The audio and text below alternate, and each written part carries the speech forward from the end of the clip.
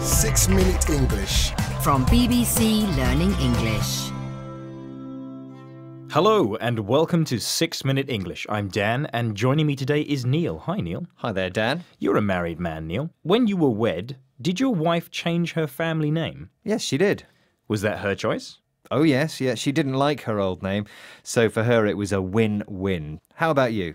Well, my wife wanted to keep her surname, but was forced to adopt mine because that was the law where we got married. Would you have thought about taking her name? That's what we're talking about in this 6 Minute English. A husband taking a wife's name after marriage. All that, six related words, and our quiz question. Okay, let's have the question. In which country has it been forbidden since 1789 for a citizen to change their name legally even after marriage? Is it A. Japan, B. France, or C. Turkey? I'm going to go for B, France. And we'll see if you're right later. Now, traditionally in the UK, when a man and a woman get married, the woman takes the man's family name, and this replaces her maiden name. A maiden name is the surname a woman had before she was married. Now, this all dates back to the Norman invasion of England back in 1066. They introduced the idea that when a woman married a man, she became his property. Now, as a result of this, she took his name. These days, many women elect to keep their maiden name upon marriage or combine it with their new husband's in some way, sometimes by making the name double barreled. A double barreled name is two names that are connected by a hyphen, such as Joan Smith. However, a growing number of couples in Western culture are doing it differently. When they get married, the husband elects to take the wife's surname. In a BBC article about surnames and marriage, Rory Dearlove, formerly Rory Cook, talks about why he decided to take his wife's surname. He said that he wasn't really attached to his name anyway. To him, it didn't make any difference. Well, he's not alone. A recent study of 2,000 UK adults by Opinium, a strategic insight agency, suggested that 1 in 10 millennial men, currently between 18 and 34 years old, fall into this category. Charlie Shaw, a Tibetan Buddhist meditation instructor who took his wife's name when they married last year, said that it was an opportunity to acknowledge the unseen patriarchal bias and sexism in our society.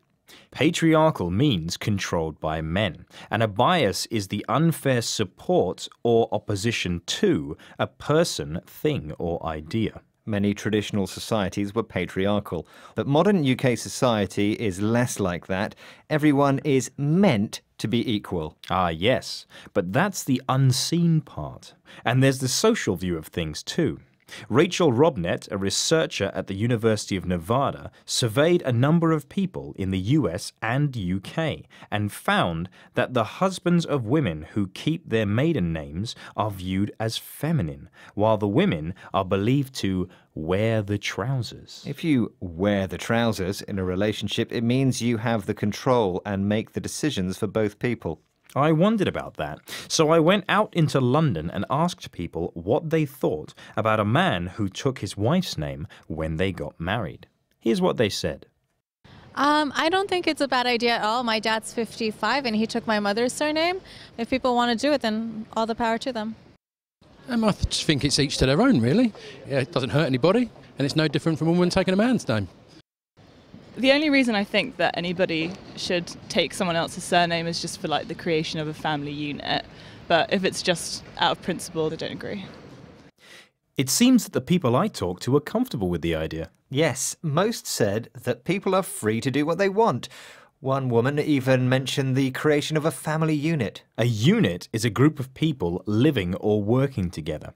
A typical family unit would be two parents and some children. Well, that answers that question. People don't seem to mind who takes whose name. Speaking of questions, how about our quiz question? I asked you in which country it has been forbidden since 1789 for a citizen to change their name legally even after marriage. A. Japan, B. France, or C. Turkey. And I said B, France. And you were spot on, as usual, Neil. Let's take a look at the vocabulary, shall we? First, we had maiden name. This is a woman's family name before she is married. My mother refused to give up her maiden name to my father when she got married. Then we had double barreled. A double barreled name is two names that are joined by a hyphen. Can you think of any famous examples? Well, there's the Duchess of Cornwall, Camilla Parker Bowles, for one. She's married to Prince Charles, next in line to the English throne. Then we had patriarchal. If something is patriarchal, it is controlled by men. The feminine equivalent is matriarchal, controlled by women.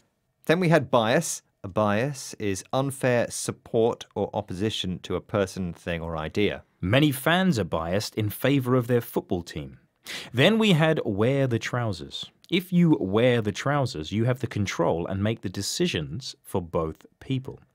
Do you wear the trousers in your marriage, Neil? Oh, we both wear the trousers in my marriage. Thank you, Dan.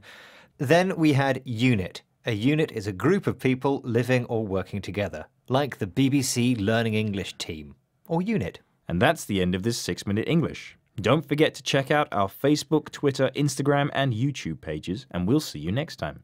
Bye. Bye. Six Minute English. From bbclearningenglish.com.